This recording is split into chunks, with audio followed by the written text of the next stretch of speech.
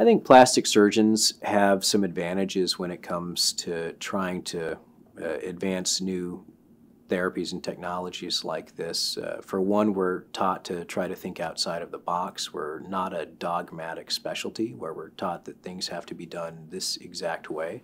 We're taught to be problem solvers. We're taught to uh, look at what's missing uh, and see how we can reconstruct that to its most similar state. Uh, we are taught to try to do that by taking things from a person's own body, from where they may need it the least to where they may need it the most. But we're also taught to, again, try to come up with new paradigms, and this may include taking tissue from from somebody who's willing to donate it uh, to give it to somebody who um, who needs it. But we're also taught to operate on every single part of the body in plastic surgery.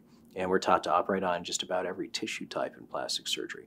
And when you're looking at a transplant like this, where you're operating on soft tissues and bones and blood vessels and nerves, and you have to know how to put all those things together in the appropriate way.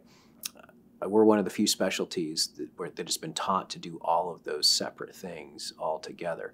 We're also taught to look more globally at how a person feels and, and functions, um, as opposed to just looking at a say, an outcome test number.